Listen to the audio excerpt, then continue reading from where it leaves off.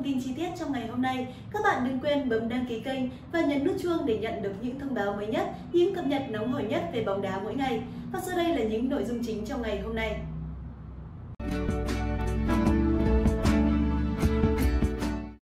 Mino, ba mới của Man United. Andre Onana giúp MU đạt kỷ lục ở Premier League. Đừng so sánh Garnacho với Ronaldo.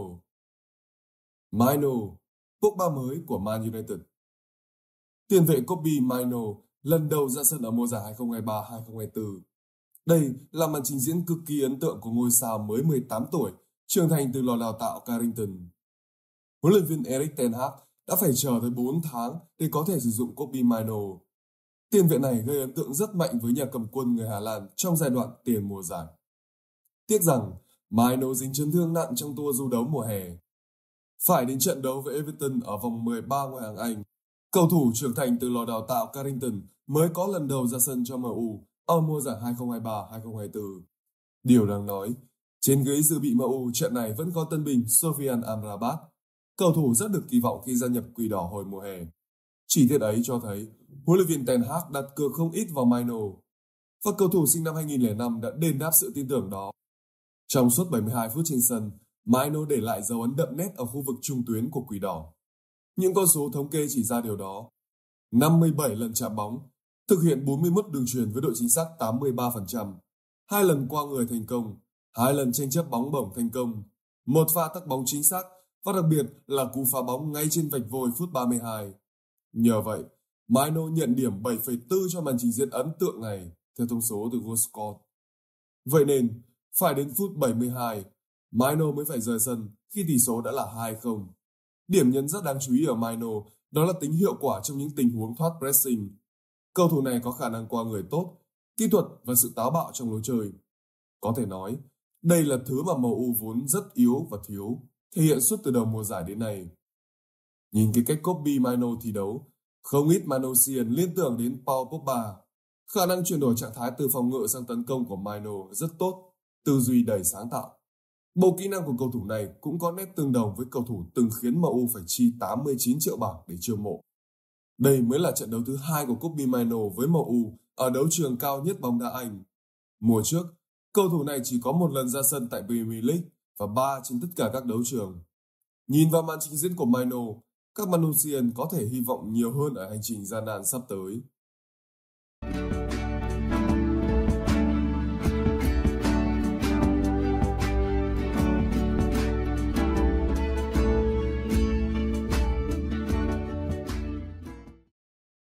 Andre Onana giúp MU đạt kỷ lục ở Premier League.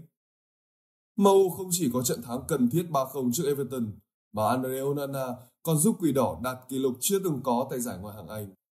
Một ngày đẹp cho Quỷ Đỏ, với nụ cười Eric Ten Hag đến sau trận khi các cầu thủ trên hàng công đều lên tiếng.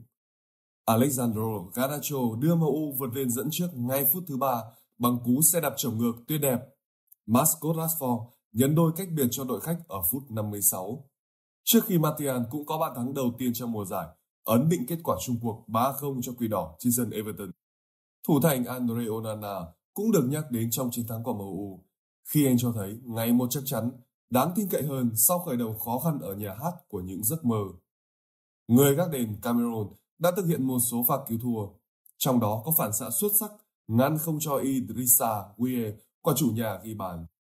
Với việc giữ sạch lưới trên sân nhà Everton, Andre Onana giúp MU đạt mốc quan trọng, trở thành đội đầu tiên giữ sạch lưới 500 trận ở Premier League. Bản thân Onana cũng là người gác đền có số trận giữ sạch lưới nhiều nhất với 5 trận ở ngoại hạng Anh mùa giải này sau 13 vòng đấu. Kể từ sau khi cản phá thành công quả phạt đền trong trận gặp Copenhagen hồi tháng 10, Onana tăng sự tự tin và cho thấy giống anh của mùa trước hơn lúc còn chơi cho Inter Milan.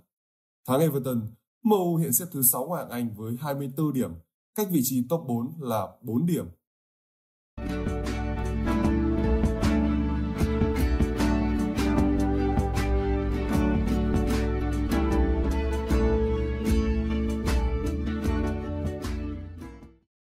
đứng so sánh Garnacho với Ronaldo.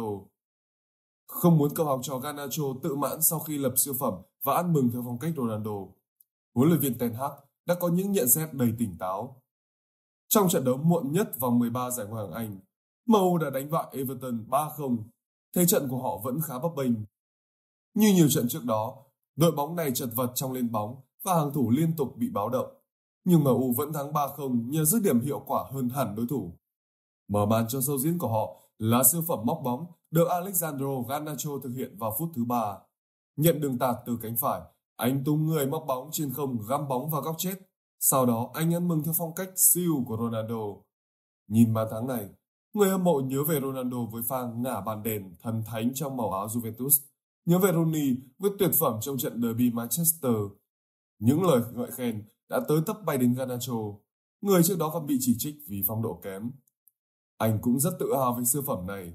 Minh chứng là sau khi ghi bàn, Garnacho vẩy các ngón tay, ám chỉ bàn thắng của mình là tuyệt phẩm. Huấn luyện viên Ten Hag hiểu ông phải giữ cậu học trò của mình trên mặt đất.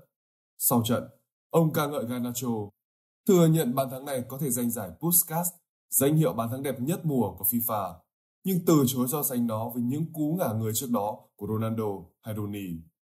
Đừng so sánh, tôi thấy không đúng lắm. Các bàn thắng đều có vẻ đẹp riêng, huấn luyện viên Ten Hag nhấn mạnh. Chưa kể, để đạt tới đẳng cấp như Rooney hay Ronaldo, Garnacho còn rất nhiều việc phải làm. Vừa đưa Garnacho về lại mặt đất, Ten Hag dường như cũng muốn kích thích quyết tâm của cầu học trò Argentina. 20 tới 25 bàn là cột mốc ông đặt ra cho Garnacho, người mới có được pha lập công đầu tiên sau 11 lần ra sân tại Hoàng Anh mùa này.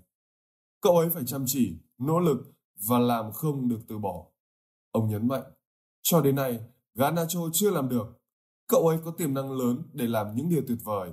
Muốn trở thành cầu thủ như Rooney hay Ronaldo, bạn phải ghi 20, 25 bàn ở ngoại hạng Anh. Không dễ đâu.